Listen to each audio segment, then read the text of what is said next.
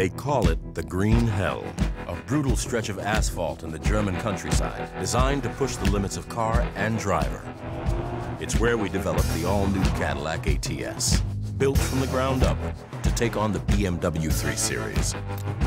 So if anyone tells you that Cadillac can't beat the world's best, just tell them to go to Green Hell and see for themselves.